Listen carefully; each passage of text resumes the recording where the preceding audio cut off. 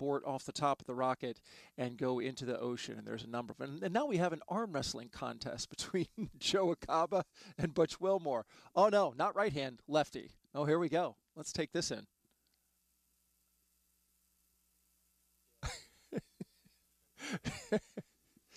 I think Butch said, Are you trying? oh, I think it ended in a tie. Come on, guys. We're going to do some rock, paper, scissors. You know, I don't see any cards in this. This is a tradition. Normally, uh, that's part of the suit up after they've got their suits and done their checks. They do a card game. But in this case, it appears they are going with rock, paper, scissors. The whole idea here is to lose to the chief you see there, Joe Acaba. And uh, he beat him. He beat him. So there you go. Joe Acaba wins one, and he's wins against Suni.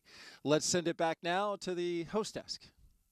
Yeah, this is a fun moment. As, as Daryl mentioned, usually it's a card game. That's a tradition that dates back to many missions ago. And, and the point is for just to have some laughs. No, the, the point is, is what, Mike? so uh, the point is to try to get the bad luck out. Uh, it looks like the crew's about to leave the suit room, but I'll just I'll say this is that uh, with Starliner we're making our own new traditions, and apparently the card game didn't work for us the first two times, so we're going with something classic and true, and yeah. universal. Who who doesn't know rock paper scissors? Yeah. I guess there's a lizard and a Spock for an advanced version, but we'll go with rock paper scissors.